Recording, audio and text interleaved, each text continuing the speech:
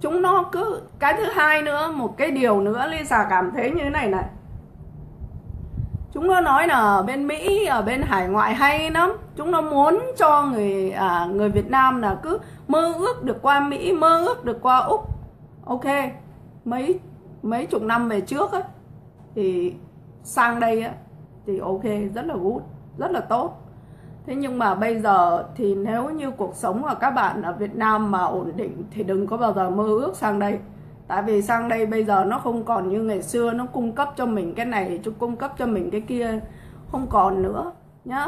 Cho nên các bạn nếu như có cuộc sống mà ổn định ở bên đấy đấy, thì đừng bao giờ mơ ước là mình á, chuyển sang đây hay là như thế nào. Các bạn rất là nhiều, chúng nó cứ nói là ở ở Mỹ hay lắm rồi, thế này, thế nọ, thế trai, đến khi người ta bán hết nhà, bán hết cửa đi, người ta sang Mỹ rồi người ta làm như chó khổ khổ, sợ sợ. Thế có phải là người ta, chúng nó hại người ta không? Đúng không? Cho nên tất cả những ai mà muốn qua úc, qua mỹ, qua bất cứ đâu ấy, mình có thân nhân hay là có bạn bè gì đó, mình liên lạc với người ta để mình nói chuyện hay là mình mình gì chứ đừng có bao giờ nghe cái bọn đấy cái bọn đấy Lisa thấy nó nó, nó sĩ lắm. Ở trong miền Nam gọi là lổ á lổ tung lổ lanh tanh bành lổ lổ không còn chỗ nào để nổ nữa.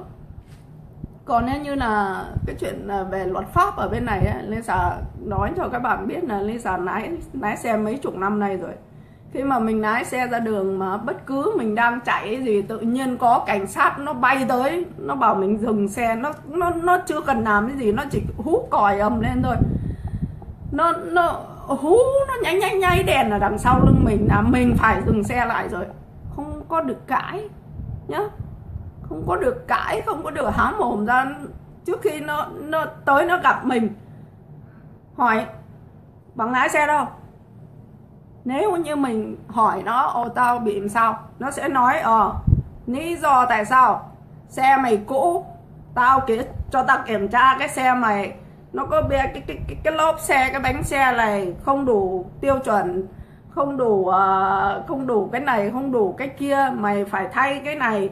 Rồi nó bật xe nên nó rồ ga. Ví dụ như nó nhìn thấy một cái xe cũ nhá nó nó kiểm tra xem là xe này có có có có có đủ an toàn rồi đó. Có có được quyền chạy ở ở, trên đường không? Đấy. Thế ví dụ cái xe mình cũ quá thế là nó mới dán cho cái giấy vàng vào trong trong trong kính xe đó.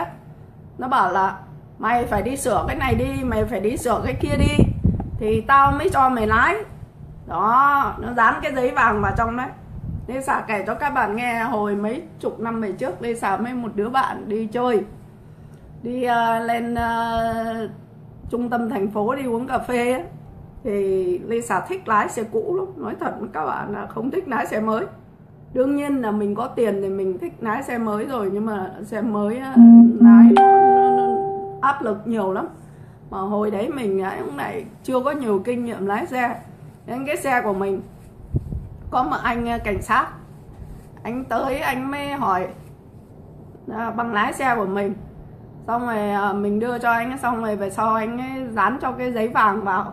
Xong anh bảo là mày à, mày phải về mày sửa cái xe này đi tại vì xe này á nó nhiều khói quá.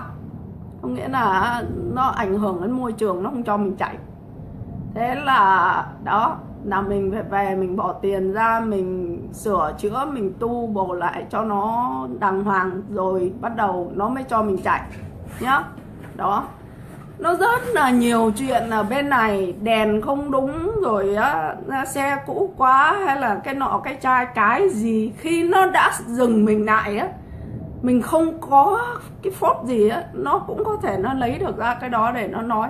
Thì mình làm gì nó bây giờ, đúng không? Ở Việt Nam này còn thôi anh thông cảm cho em. Nhà em nghèo hay là một, một nách mấy chục đứa con hay là nhà nghèo hay là già rồi hay là cái gì mình còn nói được ở đây no. Không. Nó đã nó đã cho mình như thế rồi thì mình hết đường nói nữa nhá các bạn nhá. Chứ đừng có cứ có cái kiểu là bỏ chứ tao làm sao mà mày bắt tao dừng lại? Tao có cái tội gì mày mày mày bắt tao dừng lại? Nó dừng lại nó nó, nó phải có cái gì nó mới bắt mình dừng lại hoặc mình không có cái gì hoặc nó, nó nghi mình ờ, cái con này chắc là lấy xe của ai hay là ăn cắp xe ăn cắp trộm trộm xe hay là cái gì. Nó nhiều thứ lắm, nó có quyền nó hỏi giấy tờ của mình mà. Rồi đó các bạn thử nghĩ xem nếu như mà người một các bạn đi ra ngoài đường cứ nhìn thấy một cái thằng nó cứ gân cổ lên nó cãi nó chửi nhau với lại cảnh sát ấy thì các bạn nghĩ xem là nó có sợ các bạn không? Cái thằng đó nó có sợ các bạn không? Đến cảnh sát, đến luật pháp mà nó còn coi thường nữa thì cái con người mình á, nó coi mình là cái gì? Nó ra nó đập. Mình há mồm ra cái nó đập cho bé nhẹ ra, đúng không? Cho nên là các bạn đừng có khi mà mình mình nhìn thấy cảnh sát làm cái gì hay là cái gì, đừng có nghĩ cái người cảnh sát là xấu đã.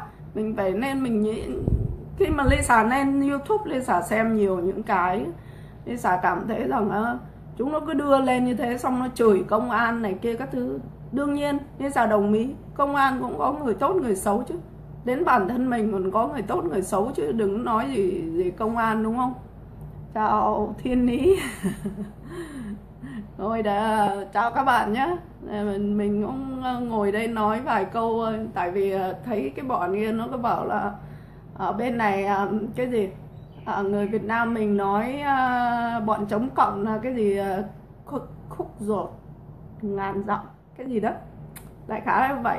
Thì lên sao nói này này người Việt Nam người ta nói những cái người khúc ruột ngàn dặm dặm hay là cái gì ấy là người ta nói những cái người mà người ta ủng hộ cho Việt Nam ở sống ở hải ngoại.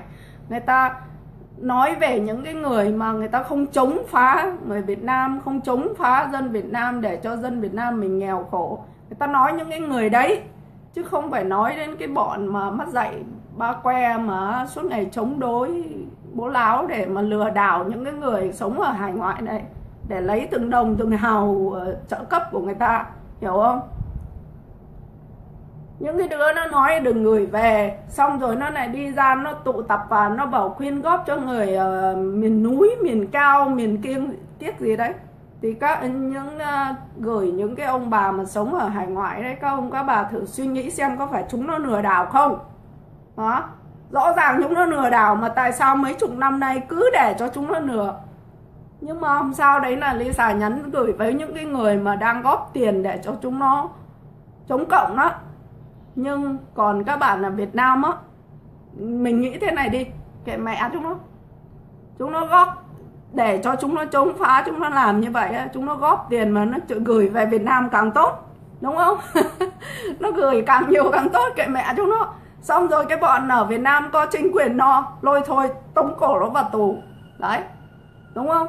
Chúng nó làm gì được cho những người ở Việt Nam đâu, chúng nó toàn nó gửi tiền về xong để cho người ta đi tù thôi đi tù rồi ở bên này á chúng nó được quyên góp rồi á từng đồng từng hào một nó bỏ túi nó nuôi con nuôi cái chúng nó. Đó. Đó. Còn thằng đấy là Lisa nói cho các bạn biết là chúng nó chỉ lừa đảo thôi. Còn á, chúng nó gửi tiền về cái mẹ chúng nó. Mà mày mày gửi gửi càng nhiều về càng tốt. Đứng nó bọn ở bên này nó không làm được cái gì trò gì đâu. Nói chung là mình nói ra để cho mọi người biết cái mục đích của chúng nó là như thế. Chúng nó không giúp gì được cho Việt Nam hết đúng không? Còn ở bên này rất là nhiều người thân của người ở Việt Nam ai cũng có gia đình ở Việt Nam hết. Cho nên Việt Nam á ví dụ như ở Việt Nam mà có cái chuyện gì ví dụ như là quá đáng hay là đàn áp cái gì ấy, chính bản thân chúng tôi có gia đình đúng không? Mình có gia đình ở bên này và tất cả rất nhiều nhiều triệu triệu người ở bên này có gia đình ở Việt Nam. Người ta đâu có ngu đâu đúng không? Có cái gì á có cái chuyện gì á chính những cái người như Lisa những cái người ở sống ở bên này mà có gia đình ở Việt Nam người ta sẽ lên tiếng. Chứ không cần phải cái lũ đấy. Cái lũ đấy á, nó chỉ được ba cộng thôi. Sắp chết rồi. Cho nên thôi ờ, thông cảm cho chúng nó để cho chúng nó vùng vẫy vài năm nữa nó chết cha chúng nó hết đi. Ngoại hối. Người càng nhiều ngoại hối càng cao đúng rồi kệ chúng nó để cho chúng nó bây giờ nó gửi tiền về nó kêu mấy cái đứa đó chống phá thì cái mấy cái đứa đó làm cái gì á? Ở Việt Nam chính quyền người ta có hết từng đứa một rồi đúng không? Khi mà gửi tiền về các bạn nên nhớ rằng á nó nó gửi tiền về cho ai á nó có cái đường dây rồi. Nếu nó gửi tiền cho qua cho người này cầm sang người kia cầm sang thì nên sao không nói và ở bên này có nhiều cái trường hợp nó muốn chuyển tiền về Việt Nam nó cho người này về, nó gửi vài ngàn về, xong cầm về Việt Nam. Cầm về Việt Nam xong rồi ở Việt Nam lại gửi qua đây để cho nó ở bên này. Chúng nó đầu tư. Các bạn hiểu không? Tại sao chúng nó làm như thế? Để nó có lý do nó nói là tiền đó là thân nhân ở Việt Nam gửi qua đây chứ không phải chúng nó là gian lận ở bên này để nó có cái số tiền như thế. Nó nhiều kiểu lừa đảo, nhiều kiểu lắm. Rồi ơi, mọi người phải lên nhớ như thế, ở đâu cũng vậy thôi, sống ở đâu cũng vậy thôi. Nói chung là mình khôn thì mình sống được thoải mái. Mà ngu ấy thì cả đời chỉ để cho những cái thằng khôn nó sử dụng mình thôi. Ví dụ như mấy cái người mà cứ đi quyên góp ở đây này gửi cho cái bọn cộng đồng ấy để cho nó chống phá Việt Nam á. Thì những cái người ấy người ta cảm thấy người ta làm như thế người ta mua vui được thì kệ mẹ người ta đi. Cho chúng nó chết mẹ chúng nó đi. Ngu thì chết có thế thôi. Còn những người Việt Nam mình cứ cứ mở kệ nó để cho nó làm cái gì ấy, có chính phủ lo rồi. Người ta biết hết chứ đi ra, đi vào rồi à, từng à, đồng, từng hào một người ta biết hết chứ. Sao người ta không biết? Kể cả ở đây cũng vậy thôi. Những người nào ăn, gian trợ cấp, ăn gian thất nghiệp, ăn cái này, cái kia người ta đều biết hết.